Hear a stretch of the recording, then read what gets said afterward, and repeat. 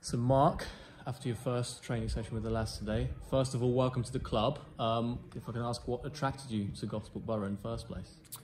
Well, I think it's the, the chairman reached out and had a, a chat with him. Um, I've obviously known him from playing against Gosport before. He's always come over and shook our hand, and we always had a had a chat. So we always remembered each other, and um, yeah, had a chat about football with him really. And uh, before you knew it, his, his passion, his enthusiasm for not only the football club, but the, the wider community as well, and uh, the, the passion that he spoke with it. And um, and then he, he said, you know, would I would I be interested in, in coming across and and helping out and helping push this club forward because there's some fantastic work going on at the football club. The club's grown massively since I was asked here. You know, the, the facilities, the the, the, work they're doing in the community with the feed the families and the, the, the you know the, the youth section coming up through.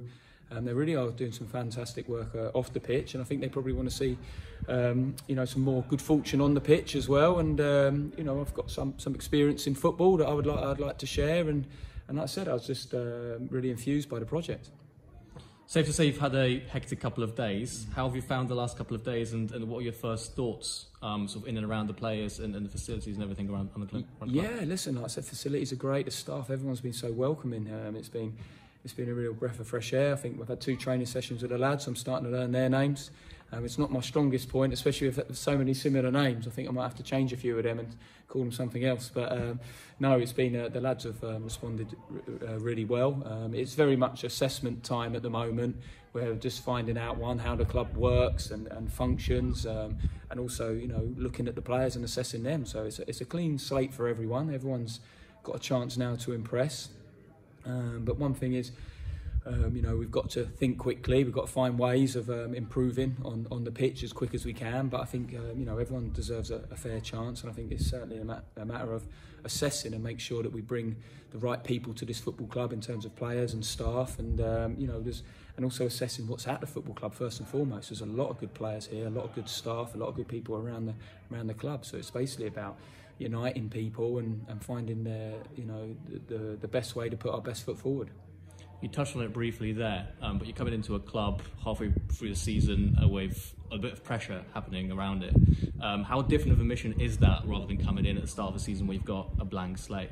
Yeah, listen, it's very difficult. There's no, no, no getting away from it to sort of crash land in the middle of a season and in the relegation zone with, you know, some injuries and other bits and bobs going on. So um, it's certainly the time to roll your sleeves up and, and, and get to work. There's no, there's, you know, there's no time to waste. That is for sure. But we're also, it's not panic stations. There's, there's good players here. It's a, you know, well-run football club, and it's um, like you, you, we don't want to rush into anything, any hasty decisions. It's about finding how to make this, uh, you know, what we've got at our disposal at the moment work the best it can. And I think that's what I've always tried to do: be the best, give give my, my players the best I possibly can to give them the best chance to perform on a Saturday, but also give them all the support they need on the pitch, also off the pitch as well.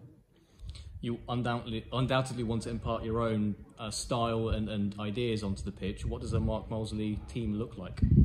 I think the first thing is we've got to roll our sleeves up, we've got to be hard working, we've got to be organised, we've got to wear the shirt with pride.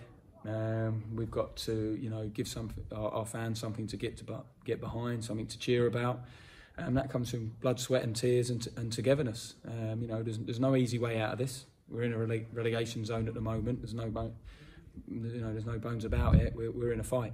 Um, we've got to make sure that we work hard, we stick together, we get a team spirit, and um, everything else we can work out along the way. And we'll, we know, we'll, we'll. Hopefully, the more time we get together, the better we'll get. Um, but like I said, there, there, might be some teething problems along the way, but we will. We, we won't be through lack of hard work and, and attention to detail in, in trying to find the best way to get the best out of this team. Looking more to the immediate future, um, obviously no one expects miracles overnight, but what is your idea of success in, in on Saturday against Tiverton?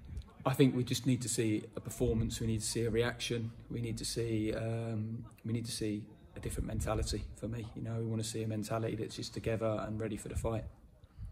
Um, how important is it to you that the fans retain the high sort of pressures in the stadium? So I'm sure you're aware the the attendances have been regularly hitting above mm. 650 in the stadium, um, which is second highest in the league, despite obviously the results being a bit lackluster this mm. season. How important is that to you to make sure that the fans keep keep engaged?